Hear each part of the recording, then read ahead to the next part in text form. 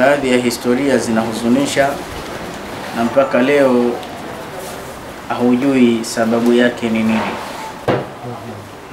Unakuta zamani mambo yako yalikuwa yanaenda vizuri, kazi zako zinaenda vizuri, lakini ghafla ghafla unakuta ahwali zako zinaanza kuyumba, lakini mwisho kabisa unashindwa kuelewa kwa nini hizi shughuli. Ndio Mwenyezi Mungu kakushusha tu, lakini kumbe nyuma ya pazia kuna kitu mara nyingine. Kwa kweli sisi tuna maradhi na maradhi yanayotusumbua kama binadamu ni ya aina kuu tatu, hakuna zaidi ya hayo. Maradhi ya mwanzo ni maradhi ya akili, maradhi ya pili ni maradhi ya nafsi, maradhi ya tatu ni maradhi ya roho. Maradhi ya akili ni pale mtu anapopata uenda wazimu. ili ni tatizo kubwa, kwa sababu anaweza akaharibu sistimu nzima ya maisha yake. Tunamwomba Mwenyezi Mungu Subhanahu wa Ta'ala aendelee kutulindia neema ya akili, mm. lakini pia wanusuru na watoto wetu, na asitupe vitu ambavyo vitaweza kuchanganya akili zetu, atuweke mbali na mihadarati na vitu ambavyo vinavyoharibu akili, stresi, mawazo, mshtuko na vitu vingine vibaya vibaya. Alikuwepo mtu mmoja zamani alimpenda mke wake na huyu ni shekhe letu. Kwa bahati mbaya, alimwamini sana mke. Siku hizo akamfumania mke wake, siku kama ya Jumaa kama hivi, anarudi anakuta mke wake juu ya kifua chake, anacholala yeye kamkuta mtu mwingine. Wallahi, kilichofanyika yule bwana alirukwa na akili akapelekwa hospitalini akachomwa masindano akafungwa kamba. Basi mpaka leo kila mwezi ukifika anarukwa na akili. So matatizo haya ya akili ya kifeli huaga haya haya haya haya hayarudi nyuma, ni moja kwa moja. Kwa hiyo life inaweza ikakupelekea ukaharibikiwa na akili. Hili ni tatizo, unavurugwa kweli kweli. Lakini maradhi ya pili ni maradhi ya nafsi ni magonjwa yote haya disease, kila ugonjwa unaosikia, kifafa, kansa, ukimwi, uh, UTI, malaria, sukari, uh, ukoma, balanga na maradhi yote mabaya. Haya, nayo tunamwomba Allah subhanahu wa ta'ala, Allah yatusalimishe nayo. Uh, kuumwa ndo sehemu ya kimaisha, basi angalau tuumwe na homa nyepesi tusimame. Angalau tupate vimafua mafua vipite, tusipate ulemavu, tusipate ma, ma, maradhi magonjwa ya macho, kutokuona. Yote haya ni mitihani, na haya maradhi yapo na watu wanapambana nayo na yanaonekana na yanajulikana, mtu akipimwa ana tatizo kadhaa, lakini bado mara nyingine taufiki ya Allah ikawa ikawa haijaingia ikawa ni changamoto. Mtu ana maradhi hayo yanazunguka dunia nzima. Wangapi wametibiwa sukari na hazijapona na wanaondoka na sukari zao? Wangapi wametibiwa saratani na hawajapona na wanaondoka na maradhi hayo? Ha? Sasa ina wangapi wana prostate cancer, tezi dume, anatibiwa na maskini, madaktari wanajitahidi, lakini ikawa ndio ugonjwa unamuondosha, hata umri wake haujazeeka. Sasa hayo yenyewe ni changamoto, ni mtihani mkubwa. Sasa kuna maradhi mengine yanaitwa maradhi ya roho. Haya ndio changamoto zaidi, kwa sababu ubaya wake kwanza hayapimwi na darubini wala hadubini wala hayaingii kwenye ultrasound wala mashine yoyote ile. Haya maradhi haya ni mabaya zaidi, na haya maradhi haya hayatibiwi pia hospitali hizi za kizungu. Haya maradhi yamegawanyika sehemu kuu tatu. Sehemu ya kwanza iko pande mbili, maradhi ya kijicho na hasad, Kiarabu yanaitwa ain wal hasad. Hii devil. Lakini pia upande wa pili ni maradhi ya uchawi. Du, uchawi ni sumu, yaani uchawi ni sumu sana. Uko uchawi, bismillah, siku ya kwanza mtu anaoa anapigwa uchawi huo, akifika hafanyi kazi kwa mke wake, na yeye siku zote akienda mbio aoe, basi upata aibu, watu umbea, sasa umeolea nini? Unasumbua watu na gharama, kama una tatizo si ungesema. Sema jamani, sikuwa na hii hali zamani. Huko kwetu kulikuwa kuna tabia hizo, mtu akioa ule usiku ashughulikiwa, basi hakuna kitakachoendelea. Watakaa mwaka mzima, hakuna watu, matunda ya watoto kabisa. Hilo tatizo hilo. E, kule kwetu kulikuwa kuna tatizo hilo, wanaume zile bakora zao hulala, lakini pande hizi za Unguja Unguja wao ikawa tabia zao ni kumshughulikia mwanamke, zile sehemu zake zinakuwa haziruhusu mwanamke mwanaume kupita, zinanywea na ukilazimisha unamuua sasa hivi, na ishatokea mtu kamkabili mke wake ikawa sababu ya umauti wake, afya yake haikuruhusu kuingiliwa. Sawa eh? Haya yote haya ni mambo yanahusiana na mambo ya sihiri, lakini pia sihiri inaweza ikasababisha ukapigwa usoni ukawa una nuksi nyingi, kila unayemfuata akusaidie. Kama umemtukana akusaidie, na wewe unasema mbona fulani anaweza akanisaidia, mbona anaweza kunielewa, lakini wallahi wewe unaomba msaada, unaonekana kama umetukana. Unaenda kuapply kazi sehemu kwa heshima zote, yani tayari unaenda unapunjiwa, yani unaona kabisa huyu mtu ana furaha na watu wote, lakini mimi hana furaha na mimi. Hata akiongea na wewe anaongea kwa madharau, kwa ukali, na mara nyingine kuna watu wanatambua. Nitakwambia kitu kimoja sasa, nitakwambia kitu kimoja. Na mimi kuna mtu mmoja nimemsaidia kwa sababu mimi natambua, wallahi, kuna mtu nimemsaidia kwa sababu mimi natambua huyu bwana wala si Muislamu, nastiri jina lake. Huyu bwana nimesoma naye kuanzia chekechea mpaka namaliza darasa saba, na wote tumelelewa parokiani pamoja, tukisali kanisani pamoja. Za huyu bwana huyu, mimi Mwenyezi Mungu kidogo kanivusha katika hali ya kiuchumi, yeye bado si sana, lakini mtu na mtue, basi hunipigia simu, maana siku hizi umekuwa hivi, basi nipe na mimi maziwa kidogo, nipe michongo, nipe madili, nipe senti bana na kadha kadha. Wallahi kweli hasadi zipo ndugu zangu, mimi mwenyewe nasema hivi, yule mtu kama atanipigia simu, basi siku hiyo mimi ndio siku ya kuishiwa. Wallahi wa billah, ni mtu ambaye siwezi mnyima hata lakini siku atakaonihitajia msaada basi mimi lazima wakati huo, ima kuna pesa nimepeleka benki, sina hata shilingi, alimradi akose. Kila mazingira, na nikimfikiria tu basi sitopata. Basi siku moja nikasema, huyu mtu ana mitihani mikubwa sana, huyu ana kijicho kibaya sana kimempiga, si Muislamu. Nikawambia mimi kuna watu naweza kuwanyima, lakini sio yeye lakini huyu siwezi kusema mimi sina kwa ajili yake. Mpita njia tu nitampatia huyu. Hasadi zimejaa. Sasa kuna watu hawayajui haya, unakuta wanalia na wanaweza wakalaumu watu hasa kwamba shekhe, yule ni kakaangu, nazaliwa naye tumbo moja, atampa mtu baki, ana lazi ampe mtu baki, lakini mimi anipi. Alikuja hapa mtu mmoja eh, na simtaji, simtaji so pia shai kurekodi kwa kamera hizi anakuja anamwomba mdogo wake kijisenti kidogo ili akaolee.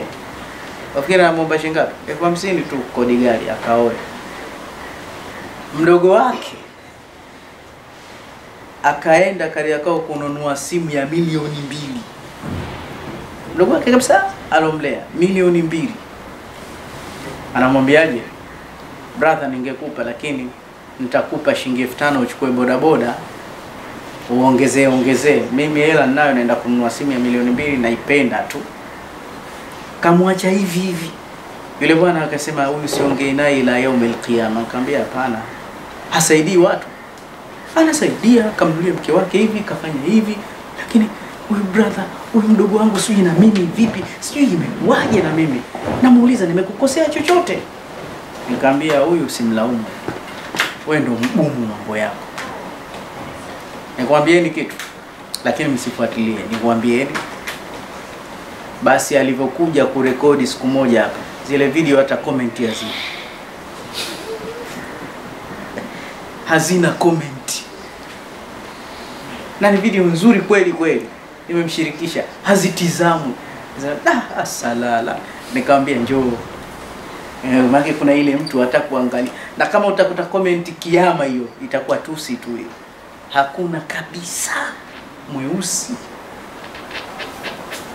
Nikamwambia bwana, haya mambo ya tiba niachie mie, we bado hujawa tabibu, we mgonjwa, anta marid kaifa tualiju nnas,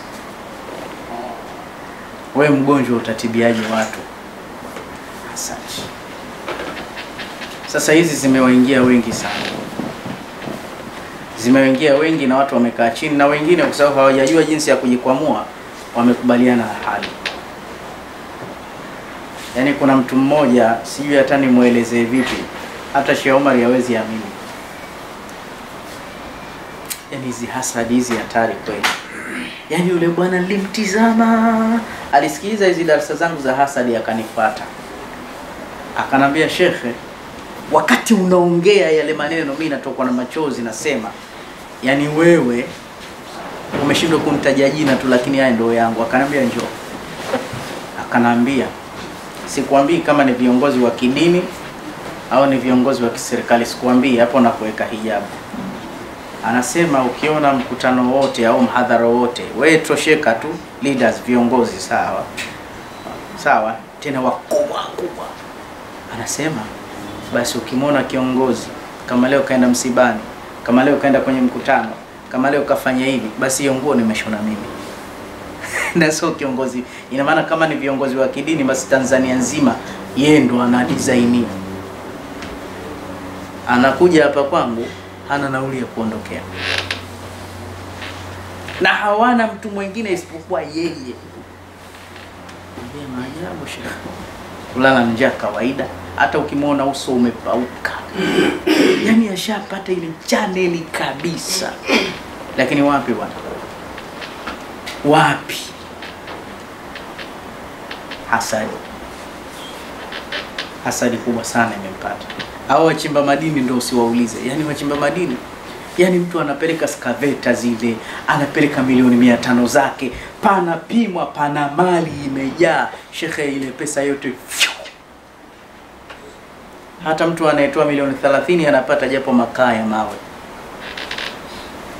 Hasadi namna zilivyowashika watu. Sasa ugonjwa wa tatu ambao unatingisha sana ni ugonjwa wa hasadi, na huu ugonjwa wa hasadi leo sisa, sisemi unasababishwa na nini, ila leo nitakutajia tu zile dalili zake, alafu nikishakutajia zile dalili zake nitakwambia jinsi gani naweza nikakusaidia inshallah.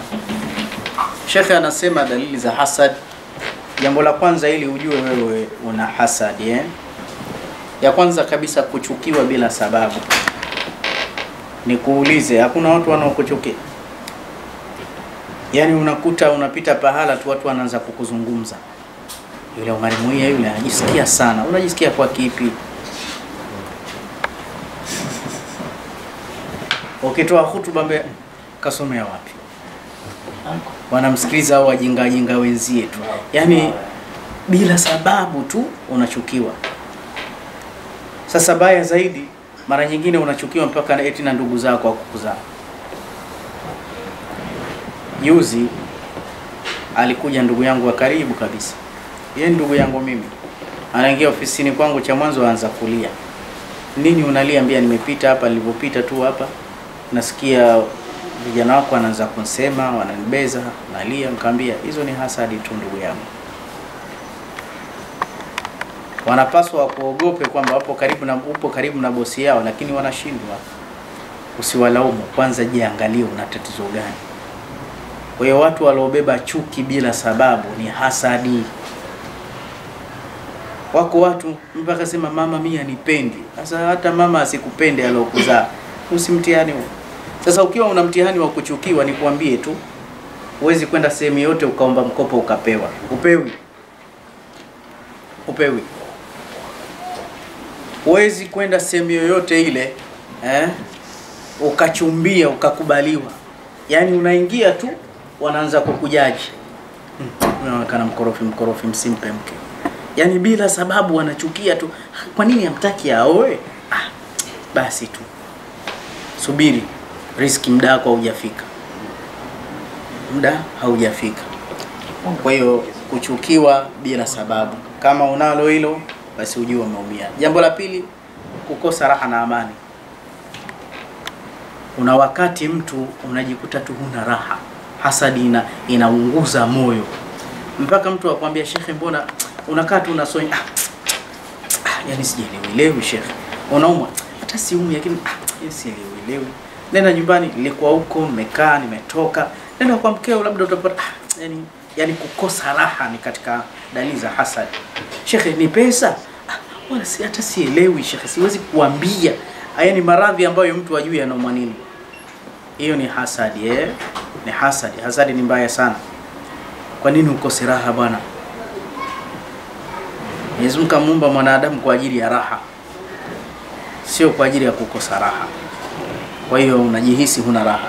Lakini pia dalili ya tatu, kupoteza kazi, kupoteza kazi na mwelekeo mustakbali wa maisha. Najua kama hapa Dar es Salaam hapa hapa Dar es Salaam hautakiwi kuishi bila ya kazi eh? Unakuta umeachiwa majumba ya urisi, umeachiwa hivi hivi, mwisho wa yote huna mbele huna nyuma, umekosa kazi, umekosa kabisa kabisa, umekosa kazi. Na hiyo kazi si kwamba vipi ulikuwa unafanya vizuri, unakuta tu unaachishwa, hujakosea, unaambiwa tu bana, andika barua ya kuacha kazi, na cheo chako kilikuwa kikubwa kabisa, unakuta una haya. Namba nne, kurudi nyuma na kufirisika. Unaona, kila siku unapiga hatua kumi kurudi nyuma. Ulikuwa maskini na majumba, unaona majumba imetokea hivi, mara umeuza. Alafu ukiuza, kwa mfano, kuna mtu mmoja juzi ananiambia hivi, ndio hizo hasadi. Kwanza kaja mia mbili mkononi hana. Huyu bwana alikuwa shughuli zake nzuri, alipopatwa na hasadi kapata maajabu maajabu ya kesi, kapelekwa ndani, kafungwa jela siku zote. Alivyotoka hasadi anayo kauza nyumba yake angalau awe kama zamani. Anasema ile hela alouza nyumba, shekhe hata hakumbuki kama shanunua hata kitumbua. Kajikuta sasa hata pa kupanga hana na hana alichokifanyia. Anasema hivi sasa, shekhe, nikikosa msaada hapa mi naona bora hata nijiue. Nikaona kabla sijajiua, unajua maisha yanaperekesha Njaa inauma vibaya, ndugu zangu Waislamu, msione hivi. Ni huo utu uzima tu, lakini mwingine anashindwa kustahimili, machozi yanamtoka jua kali ili utamwomba nani? Unapelekeshwa huku, we huli mpaka uazime buku kila siku.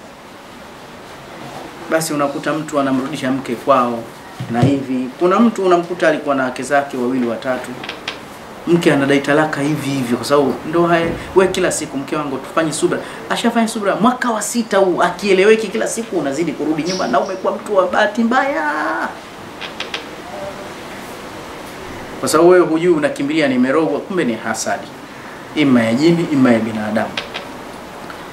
Lakini pia namba tano, pia kuvunjika ndoa. Yaani unamkuta mtu alikuwa na mkewe wanaishi vizuri, lakini hajui chanzo cha ile ndoa kuvunjika. Ndio maana wake zetu itakiwa wajistiri sana. Mwingine anasema ah, bwana, kumbe yule ana mke mzuri kwa kiasi hichi, yule mke mfiche na usieleze habari zake mara nyingine itaingia hasadi, unakuta yule mke basi ndoa bila sababu inaachanwa. Juzi mtu mmoja kutoka Zanzibar, Pemba, anapigia simu analia, maskini analia kwelikweli, anasema shekhe, na mke wangu tunapendana, lakini hasadi imeingia katikati, tumeachana tena, talaka ya mwisho, hatuwezi kurudiana. Sasa vitoto vyangu vidogo vinalia balaa, vinalia vinanitia uchungu, naye mwenyewe anapata uchungu. Sasa wamebakia hawajui cha kufanya yeye mwenyewe na mkeo wanahitajiana. Sasa tunarudiana vipi? Hii talaka ya mwisho, chanzo cha kuachana hawajui hata sababu. Mke anapenda akae na mume kulea watoto wake, mume anapenda mke wake, sababu ndogo eti wameachana. Wameachana huko wanapenda hasadi, hasadi tu, hasadi tu. Sasa kuna hasadi, kuna kijicho. Dalili ya kijicho, ukiwa umepatwa kwa upande wa kijicho, ya mwanzo kubadilika rangi uso, yaani unamkuta mtu uso wake umekuwa mwekundu au umekuwa na kovu, yaani unasema eh, mbona yuko hivi? Kesho unakuta yuko vingine. Hasa mwanamke kama unamtaka, kama ana hasadi, ukimwona kwa ghafla unamwona yuko sawa, kesho ukitaka tena unaakhirisha, mbona jana nilimwangalia vibaya. uso unabadilika, mara unakuwa mbaya.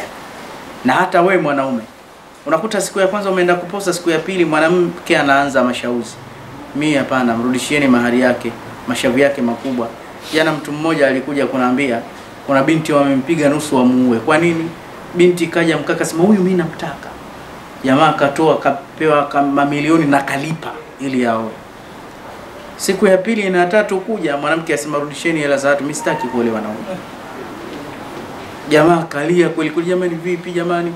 Ambia ndio kashakata. Binti kapigwa mpaka mbele yule bwana maskini, ushaingia hasadi uchumba. Haya, kwa nini umelipa hela zote? Ambia kwa sababu kila ninapochumbia mimi mambo yangu yanakwamaga hivi hivi hivi hivi. Umeona eh? Kwa hiyo kuna watu ni wajane, wanania kuoa, wanajiweza, lakini hawaoi sababu ya hasadi. Ndio maana vijana wa leo jua linawaka sana mikononi. Yaani kijana wa leo Sheikh Omar hawawezi kuoa, hawawezi ndoa, hawawezi kualisha, hawana maisha. Hasadi zimewakumba na hivyo wanavyojiachia ovyo TikTok. Hata mtu kapewa gari akaoshe, basi ashajitangaza lake. Haya matatizo makubwa sana haya, macho yanatukuta usi, na vile vile hatufuatilia adhkari wala nini. Hizi kulukulu zina maana kubwa hizi. Mara nyingine ukuta watu ni maustadhi hata hawaneemeki nazo wala hawafuatilii. Kwa hiyo watu chali, mjinga anaumia na msomi anaumia. Hao maustadhi wa madrasa ndo wamerudi nyuma, kwa sababu wanahusudiana hatari. Yaani kuna baadhi ya maustadhi wenzie wanatoa vijana wanakuwa mashehe lakini yeye hata siku moja hajatoa hata mwanachuo. Kila wanafunzi wakifika pazuri wanamkimbia wanaenda kwa shehe mwingine. Hasa hadithi. Mpaka unamkuta mtu ni shekhe mkubwa na analalamika. Ambia shekhe, mimi bwana nimesomesha vijana kwa lakini hawanilipi fadhila. Yaani mwalimu analala njaa, vijana ananemeka kwa elimu aliotoa kwake. Yeye hasogei, ana vijihasadi afu hajui maskini. Hajui. Watu wanabakia kusema tu, da, wallahi akisalisha sauti yake yule mwamba yule Ijumaa lazima tukasali msikiti wake imamu yule, basi na imamu wake ndo anakauka hivyo hivyo, macho yashamkumuta. Akija mtu anamwiga tu anatoka kuta yani mtu akija tu ah, umemwona chuma cha mkuranga mwige, yani anayemwiga tu siku mbili tatu ana gari anapita hivi, kumbe chuma cha mkuranga kashakaushwa zamani. Watu wa kufanya daraja tu wanakusafiria tu ah. Haya mambo yamejaa sana katika jamii. Hatari yake ukiyaingiza maabara huyapati, na ubaya zaidi hizi tiba za kisuna hatujazipeleleza. Kwa hiyo tunaona kama ndo hali inavyokwenda. Wewe ndio ukadiriwe tu ufukara siku zote bana. Maisha haya bwana, maisha yamekuwa expensive sana hapa hapa Dar es Salaam, hata hata yale maji ya kunywa hela yani. Kwani kuna watu wangapi wamerudi vijijini? Maisha yamekuwa magumu sasa, acha tu nirudi kijijini. Kwa kijijini kwenyewe kumekuwa kama mjini ndo wanakufa mapema, ama yake jembe uliwezi tena wewe. Vijicho vimetutembelea, hatuna tahadhari nao. Haya, huyu mtume wa Allah leo tumemzungumza katika Ijumaa hatari, kudura zake. Tumezungumza leo pawa ya mtume, heshima yake. Tumezungumza namna anavyobabaikiwa na malaika na mola wake. Haya, lakini yeye kana yataawadh min ayuni linsi wal jinn mwenyewe alikuwa anaogopa majicho ya majini na binadamu, anajikinga kwa Allah. Audhu bikalimati llahi tama wa min kulli shaitanin wahama wa min kulli ainin lama wa min kulli ainin ainin. Unaona mchezo? Yeye yeah, anajikinga asipatwe, kwa sababu kashasoma maisha ya mitume wenzie. Nabii Ayubu macho yale, angalia alivyobakia masikio mpaka kaoza. Wewe nabii wewe, kwenye uharia huo lazima upeperuke tu unaona unajuzu sini ushafika na usomi, wanakupeperusha wanakupeperusha dakika moja. Hizi zinasumbua watu, hizi zinaleta umaskini katika vitu tishio hivi hapa, macho haya hasadi haya. Na ninarudia tena, kuna watu wana adlun, kuna watu wana malakatu, kuna watu wana vipawa wana istidadi. Yani wewe mwenyewe ukimtizama hivi, huko ni atoki, mbona mbona anahitajika na watu sana mambo yake, lakini anaishia humu humu tu. Watu wanaishia kusema tu mashaallah, masha ndo kwa heri kipanga na mtu bwana, tunakuita sehemu fulani, kuna maulidi, ukiwatajia nauli tu unaahidiwa tu, watu tutakuita huku nje, we mtu muhimu sana bwana. Yani ukifanya kitu pale watu wanakukubalia pale pale tu. Sheikh, naomba namba yako, nipe namba, nipe namba. Akupigia hata huyu. Ukiona amekupigia na kuuliza shekhe, ile ilikuwa sika au bayati? Ndio yashaisha. Aya. Lakini utasikia tu alikuwa na shekhe fulani akamsifu, shekhe fulani kamwongelea, yeye mwenyewe yuko wapi? Macho. Hasa maustadhi ambao wanaonekana mbele za watu lazima wajikinge, kwa sababu wanatizamwa na macho mengi sana. Unajua tatizo si atuamini kwamba hata mwingine apendi vile ulivyo, atamani angekuwa yeye. If I were you, ningekuwa wewe. Mm, ile mbaya sana. Wafikiri maustazi wote wacha Mungu, Waislamu wote wacha Mungu hawana hasadi. Wanga umo umo, ni hasidi umo umo. Mm. unapigwa tu, unaingia kwa hadhara, macho yale yakusubiri ukasome. Mara nyingine ndio maana una- unaona mpaka kantunza mia mbili. Mungu amwondoshie hasadi. Mara nyingine unaenda unakuta kwa maiki unaenda kusoma, mara umepaliwa unakoa. Mm. Vipi shekhe? Macho macho. Hata wale wanaosomaga somaga sana wao wanaosema ah, mwanangu, kwa mfano hivi Sheikh Hassan Ng'onyo eh, ili jina la chuma si, si lake hili, zile kazi zake kuna chuma mwamba wa miambani. Sasa hata wale wanaosifu tu mashabiki chuma kile hawajui hata mashaallah, lazima ujikinge nao. Yaani mtu anasifu kwa nia nzuri, lakini sasa kisheria anatoa makombora akuangamiza, kuangamiza,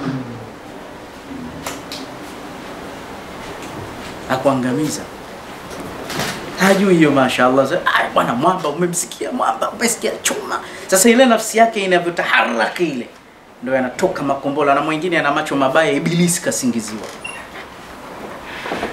unakuta chuma imeishia pale pale, chuma imeiwa na kutu. Imekuwa plastiki. Sasa wewe ukiangalia, wewe unafanya maskhara nini? Mambo ya sauti, watu wanaimba imba uchi tu eh, lakini angalia wanavyopiga hatua, wanavyogombaniwa, unaona mchezo. Na kuna watu wengine washajitoa, wataki miziki, ili sauti nzuri wanazipenda, lakini husogei, washakuchapa ushachapwa eh. Lakini ukiacha watu tu, jini yule anaweza akakufuatilia, unaenda kusoma tena, enda kuzungumza maneno ya Mungu na mtume na namkausha nione kama kitafika wapi, ufiki. Sasa mtume mapema alishaiona hii, akawa anajikinga sana, yani hapo hata hizi muawidhataini hazijaja, mtume kuna njia nyingine alikuwa anatumia aache kujikinga. Wale wajukuu wake Hasan na Hussein na Muhasin alikuwa akiwakinga sana na dua hizo. Nabii Ayubu ataka kuondoka jamani. Wewe unasema Nabii Ayubu, wewe Nabii Suleimani. Nabii Suleimani chali, aliishi maskini wa leo hajafikia. Na utajiri wake ukaisha wote. Akawa mvua samaki. Alafu jini na uhasidi wake amekaa kwenye mimbari yake. Yaani hasadi aliopigwa nayo wake zake wamemtia bakora Nabii Suleimani. Wewe upigwa na wanawake elfu moja unaona mchezo? Ndo ujue kwamba kama kuna kitu kinaweza kikaipindua kadari ya Mungu basi ilikuwa ni jicho. Jicho hatari sana. Sasa wewe jifananize na mitume. Mitume ndio Allah kashawaandaa na majanga yao hayo. Haya, mimi na wewe basi nikwambieni siri moja. Si mnamwona Usman Michael kazi yake mambo ya majini, mambo ya hasadi, basi kila uchao aisee nadili sana na vitu hivi kuhusiana na maisha yangu. Kwanza nikiona tu upepo siuelewelewi, naenda kuoga hasadi. Wallahi. Nikiona mtoto wangu eh, aogeshwe hasadi. Yaani kidogo tu. Sina ajizi katika hayo. Sichelewi. Sichelewi. Na, na ukweli wa mambo, chanzo cha mimi kufanya tiba hizi za kisuna ni kupata hasadi, na hii hasadi wallahi hajanifanyia mtu mbaya, anifanyia dai mlinganiaji, akanipiga aini ya nguvu kabisa, nikakaa chini mzee, nikawa nakula vya kuokota jalalani mzee. Kweli mazuri yanatokamana na mabaya amenisaidia nimejikuta bonge la mganga wa tiba mbadala. Kwa hiyo nikizifanya nina yakini mtu namwambia tu utakuwa kama mimi, hata mimi nilipitia hayo, utaniambia nini?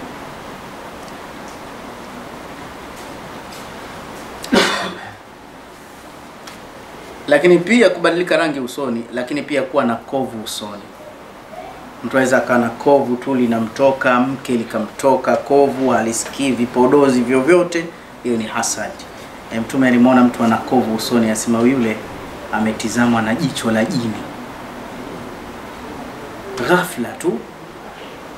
Lakini pia kuumwa kisichojulikana mpaka unakufa. Mtu anaumwa kweli kweli, Unauma nini? Mwisho mtu anapotezwa, kufukuzwa kazi, talaka, kukata tamaa. Mtu kukata tamaa, kitu ambacho kitamsaidia anakata tamaa nacho, anakuwa mvivu, alafu anakuwa kushindwa kwingi, kina nitafanya, nitaenda, haendi, anaishia hapo hapo. Nafikiri dalili hizi ni nyingi, lakini tukome na hizo. Miongoni mwa tiba zake ni nyingi sana.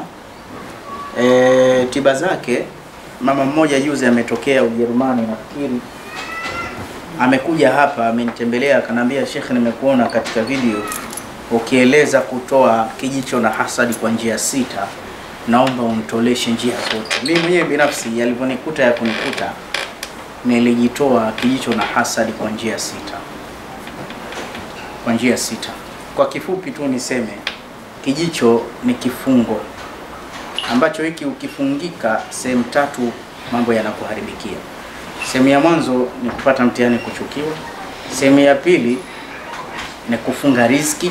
Sehemu ya tatu ni kuumwa kisichojulikana. Hasa hapa kwenye mpango wa riski, mwanaume ni majukumu, panachanganya sana hapa. Unaweza ukakuta kumbe wewe Mwenyezi Mungu akakuandikia wewe ni bilionea kabisa kabisa wewe unamcha Allah, afkari zote unafanya. Tena niiseme, kuna wale watu ambao shekhe, zile adhkari nimezifanya, lakini bado kila kitu kina njia yake. Kwanza toa hasadi. Nabii Allah Ayubu alipopatwa na mitihani ile, kwanza kabisa ameoshwa hasadi na malaika. Baada ya kuoshwa, akaendelea na adhkari zake, rabbi anni massani dhur wa anta arhamur rahimin. Eh, baada ya hapo anasema tukamwondoshea wa atainahu ahlahu mithlahum mahum rahmatun min indina wa dhikra lil abidin. Alipoteza kila kitu akapewa kila kitu. Itoshe tu yale maneno tuliyosema katika Ijumaa, walakad karramna bani adama, binadamu tumemkirimu, tumemheshimu, lakini mwisho mwisho huku asema warazaknahum, tukampa riziki ya vitu vitamu vitamu.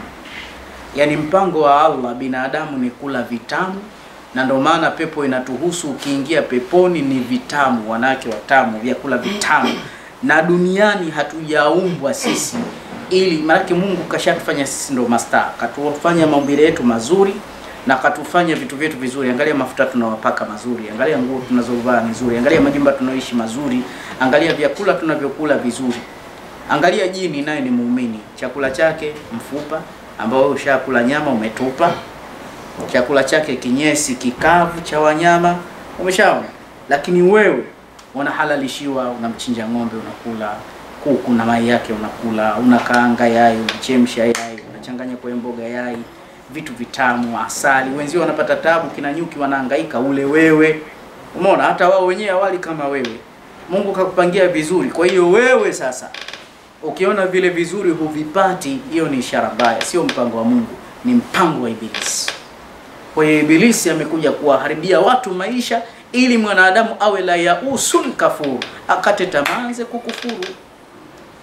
Lakini Mwenyezi Mungu system yake anataka mja apate anachokipata, amshukuru Mwenyezi Mungu Subhanahu wa Ta'ala, kisha baada ya kumshukuru amwabudu. Sasa mara nyingine kuna maradhi ya leo ni hasadi. Miongoni mwa njia kuna dawa hizi mbili tu. Hii dawa hii inatakiwa unachemsha maji lita mbili, inaitwa sihiria shiqiyu bukhur. Yale maji ma lita mbili ukiyachemsha kichemka kisawasawa, unayaepua. Ukiyaepua unavua nguo zako zote, unachukua melakaten, vijiko viwili tu, two spoons, una mix kwenye yale maji. Unachukua mwiko, unachukua shuka zito gubigubi, unajifunika, unaanza kukoroga taratibu taratibu, ili usiungue. Wakati ule unaingia, tia nia hii, Mwenyezi Mungu, kwa mimea hii. Sasa hii ni miti ile inaondosha nuksi, sijui mosha fedha, sijui nini nini, vyote mkunazi nini na vitu vingine vingi muhimu sana. Ukiingia pale, mwambie Mwenyezi Mungu unatia nia ya kuondosha kwanza alaini, niondoshee kijicho na vifungo vyake vyote. Basi unajifusha mpaka ule moshi ukishatulia unatoka. Kwanza pia ni steaming, inaleta harufu nzuri, inafungua mwili, inaondosha maradhi, inaondosha jasho mbaya. Ukitoka pale yale maji yakiwa yamepoa, unaenda kujimwagia. Wakati wa kujimwagia unatia nia ya kuondosha hasadi. Sasa Mungu sasa hivi tena niondoshee hasadi. Unafanya two times per day, asubuhi na jioni, mpaka iishe hii dawa hii. Lakini pia wakati huo unapaka na haya mafuta azeit mujarrab sihiri ya shiqiyu. Haya mafuta tisa ya kwanza yana kisomo kikamilifu cha ruqya. Ukiyapaka tu, si ulikuwa huna raha, unajisikia raha, na mwenyewe unasema hii dawa paka asubuhi, mchana na jioni. Kama unahisi kuna kaharufu kidogo, japo hayana, unaweza ukapaka juu yake mafuta mengine.